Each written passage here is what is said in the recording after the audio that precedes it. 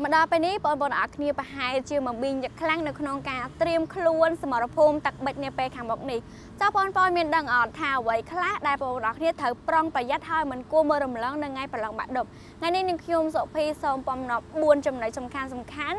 ដែលខ្ញុំបានធ្លាប់ឆ្លងកាត់ហើយក៏បងប្អូនគួរតែជៀសវាងនៅចំណុចទាំង4នេះដែរទី1គឺបងប្អូនអរគ្នាត្រូវតែរក្សាសុវត្ថិភាពតខ្លួន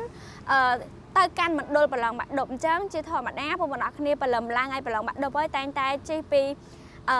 ពីផ្ទះជួលឬក៏ពីស្ថានភាពដែលខ្លួនឯងស្នាក់នៅទៅកាន់មណ្ឌលប្រឡងដើម្បីប្រឡងត្រូវឯងអញ្ចឹងនៅក្នុងប្រឡងពេលនេះគឺអ្នកនរគ្នាត្រូវការថែរក្សាសុវត្ថិភាពផ្ទាល់ខ្លួនឲ្យបានល្អមែនតើបើសិនបើដឹងខ្លួនឯងថាអត់ទាន់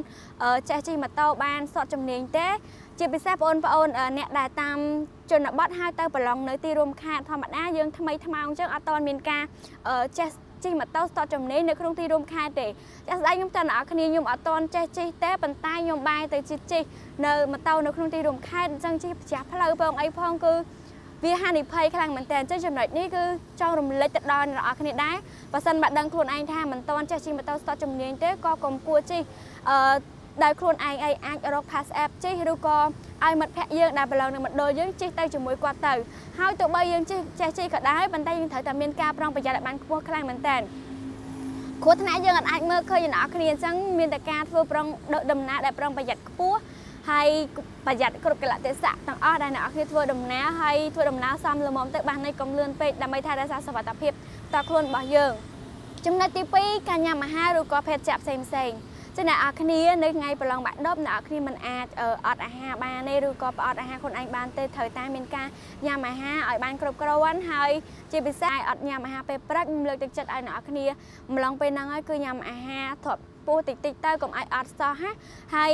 ដើម្បីជៀសវាងពេលពេលយើងភ័យផងហើយយើងទៅហែវទៀតអាចធ្វើឲ្យអ្នកគ្នាខ្ចត់ចាប់បានហើយមួយវិញទៀតគឺចំពោះភេទជ្ជៈអ្នកនរគ្នាត្រូវតែប្រុងប្រយ័ត្នឲ្យបានខ្ពស់មែនតើនៅក្នុងអំឡុងពេលថ្ងៃប្រឡងជាពិសេសគឺកាហ្វេ ជាជាទូទៅអ្នកនរគ្នា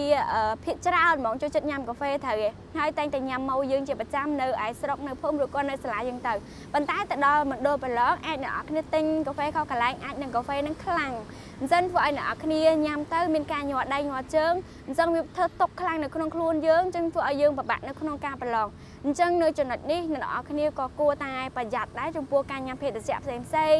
ឬក៏ញ៉ាំអាហារផ្សេងផ្សេងត្រូវតែតមជានិច្ចអឺ រាល់ការញ៉ាំអីត្រូវតែគិតគូរទៅដល់សុខភាពខ្លួនឯងជានិច្ចចម្លងថ្ងៃប្រឡងនឹងធ្វើឲ្យប៉ះពាល់ទៅដល់អារម្មណ៍អ្នកនរគ្នានៅក្នុងការប្រឡង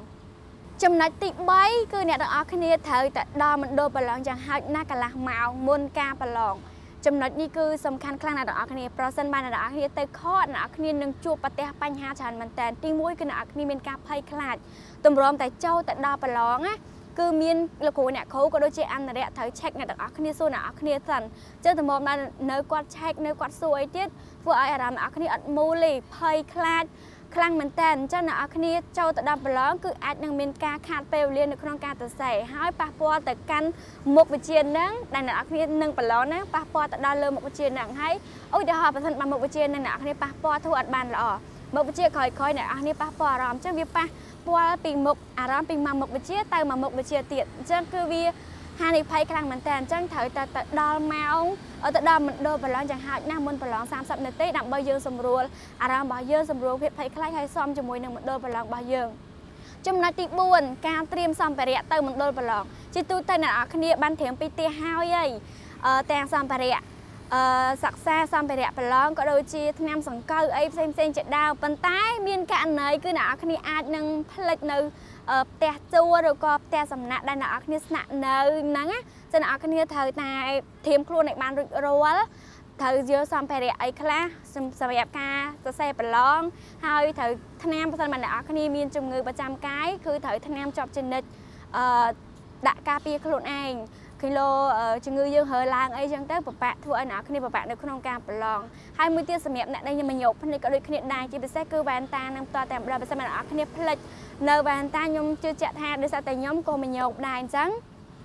ប្របាក់នៅក្នុងការប្រឡងណាអឺបើសិនមកអ្នកនរគ្នាមិនញោបដើការ៉េខ្ពស់ទៀតណាគឺពិបាកមើលវិញ្ញាសាហើយអាច កាត់វិញ្ញាសាមកខុសកាត់ប្រធានខុសកាត់អីទៀតអញ្ចឹងវាពិបាកនៅក្នុងការប្រឡងមែនតើចឹងអ្នកគ្នាអ្វីដែលអ្នកទាំងអស់គ្នាខ្វះហាត់បានគួរតែស្ត្រៀមខ្លួនឲ្យហើយហើយដាក់នៅក្នុងកាតាបតាំងពីល្ងាចឲ្យហើយត្រៀមខ្លួនមកអស់ហើយមកព្រេងកាឡាតាមសង្កូវអីគឺអ្នកគ្នាត្រូវត្រៀមឲ្យ ready រួចរាល់ខ្លួនឯងព្រលឹមឡើងគឺយើងចេញដំណើរមកតែហ្មង